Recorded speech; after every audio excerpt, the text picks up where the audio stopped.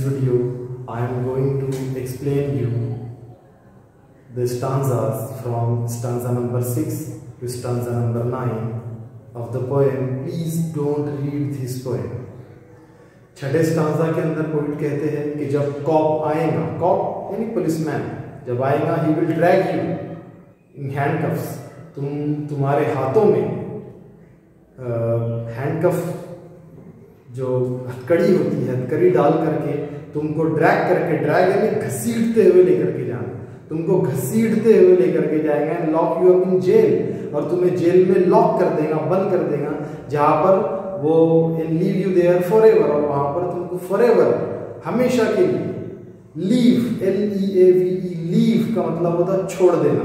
तुमको वो हमेशा के लिए छोड़ देगा, जहाँ पर तुम ओल्ड एंड फ्रेल हो जाओगे। ओल्ड यानी बूढ़े बूढ़े हो होने तक तुमको वहाँ पे छोड़ देगा। और ज़ाहिर सी बात है कि बुढ़ापा अपने साथ कमज़ोरी लाता है। Frail F R A I L frail यानी कमज़ोर। तुम वहाँ पर कमज़ोर हो जाओगे। अगले छठे सातवें स्टांजा के अंदर पोइट कहते हैं कि और जब तुम जेल में रहोगे तो तुम्हारे सभी फ्रेंड्स तुमको भूल जाएँगे। इतना भूल जाएँगे कि you won't be even missed कि तुम्हें कभी मिस यानी कि याद तक नहीं करेंगे। और तुम्हारे फैमिली मेंबर्स भी तुमको इस तरह से भूलेंगे कि वो तुम्हारा वजूद था एग्जिस्ट लास्ट उस पेज की लास्ट लाइन का लास्ट में वर्ड है एग्जिस्ट यानी वजूद, अपना वजूद होना। तुम्हारा वजूद है भी या नहीं भी, ये तक तुम्हारे फैमिली मेंबर्स भूल जाएँगे। इसके बाद अगले स्टांजा नंबर एट के अंदर पोइट कहते हैं कि अब जब मेरे मना करने के बावजूद तुमने ये पोएम पढ़ ही ली है एमीगो एमीगो फ्रेंड बहुत सिंपल वर्ड है, याद रखने के लिए आसान है। फ्रेंड के लिए दूसरा वर्ड इंग्लिश में एमीगो है।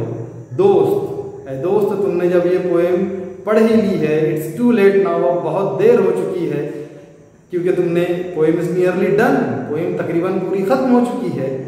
लास्ट स्टांजा के अंदर अब देखते हैं कैन नेस्बिट पोइट जो है, वो क्या कहते हैं? Now there is only one solution अब इसका एक ही हल है।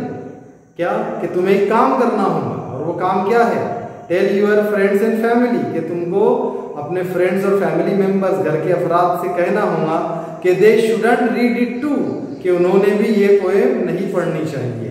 Just in the same way हमने इंट्रोडक्शन वाले वीडियो में देखा था कि जब वो कहते हैं कि डोंट रीड दिस पोएम तो इसका अपोजिट इफ़ेक्ट पढ़ने वाले पर होता है, जैसे कि आपके ऊपर हुआ।